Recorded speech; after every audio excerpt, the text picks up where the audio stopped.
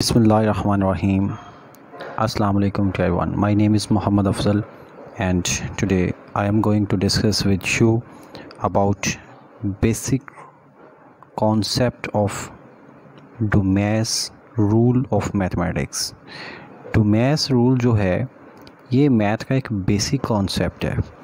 इसमें हमें ये पता चलता है इसके थ्रू कि अगर किसी एक क्वेश्चन के अंदर एडिशन सब्ट्रैक्शन मल्टीप्लिकेशन और डिवीज़न एक साथ यूज़ हो जाएँ तो उनमें सबसे पहले किस को सॉल्व करना है, कौन से सिंबल को हम लोगों ने एवेल्यूएट करना है उसका हमें इलम डोमेस रूल से होता है। अब डी का मतलब यहाँ पे क्या होता है? डी का मतलब यहाँ पर होता है डिवीज़न अगर ऐसा कोई क्वेश्चन आ जाता है जिसके अंदर ये वाले कॉन्सेप्ट एग्जिस्ट करते हों कि मतलब डिवीज़न मल्टीप्लिकेशन एडिशन और सब्ट्रैक्शन एक साथ आ जाएँ तो उनमें सबसे पहली प्रायोरिटी देते होते हैं डिवीज़न को।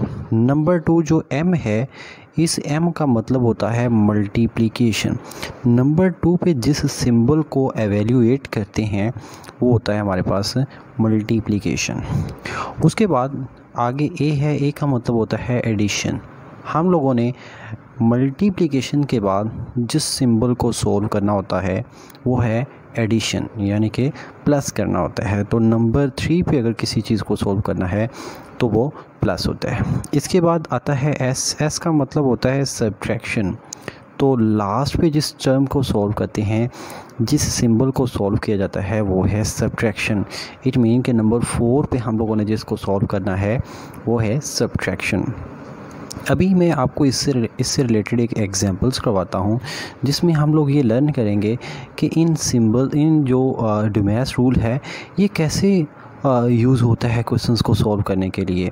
बहुत इंपॉर्टेंट रूल है। फॉर एग्ज़ाम्पल हमारे पास अगर इस तरह से कोई क्वेश्चन आ जाता है फॉर एग्ज़ाम्पल एक क्वेश्चन है two plus two multiplied by fourteen divided by seven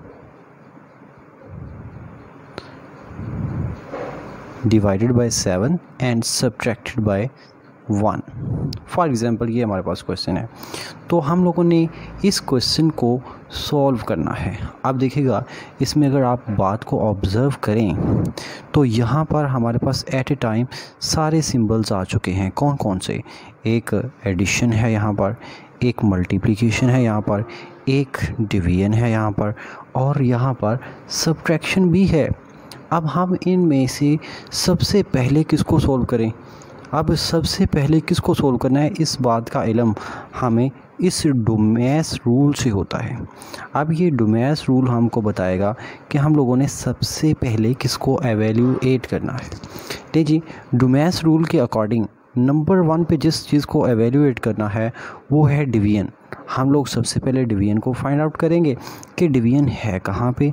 division यहाँ पे एग्जिस्ट करती है ये वाली। 14 और 7 के बिटवीन इट मीन कि हम लोग 14 और 7 को सबसे पहले इसको एवेल्यूएट करेंगे और बाकी नंबर्स और सिंबल्स एज इट लिखेंगे। तो सो इसको एवेल्यूएट करते हैं, दिखेगा। यहाँ पर सबसे पहले आता है टू। इस वाले टू को नीचे एज इट मैंशन करेंगे तो टू एज इट आ जाएगा। और उसके बाद आता है प्लस तो प्लस को भी हम लोग एज इट लिखेंगे। उसके बाद फिर से टू है, टू फिर से वैसे ही लिख देते हैं। यहाँ पर टू आ जाएगा, और उसके बाद क्या आता है? मल्टीप्लिकेशन मल्टीप्लिकेशन को भी एज इट मेंशन करेंगे।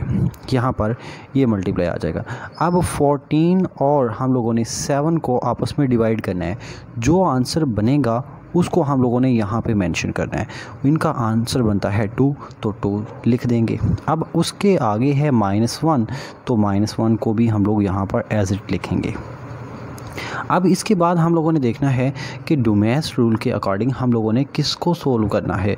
तो डोमेस रूल हमें बताता है कि नंबर टू पे जिस चीज़ को सोल्व करना है, वो है मल्टीप्लिकेशन तो हम लोग मल्टीप्लिकेशन को सोल्व करेंगे। तो मल्टीप्लिकेशन टू और टू के बिटवीन है। इट मीन कि हम लोगों ने सबसे पहले टू को टू से मल्टीप्लाई करना है और बाकी नंबर और सिंबल्स एज इट लिख देने हैं। तो हम ऐसा ही करेंगे। यहाँ पर ये फ़र्स्ट टू और प्लस एज इट लिखेंगे और जो टू को टू से मल्टीप्लाई करेंगे तो उनका आंसर बनेगा फोर फोर लिख देंगे और माइनस वन एज इट आ जाएगा।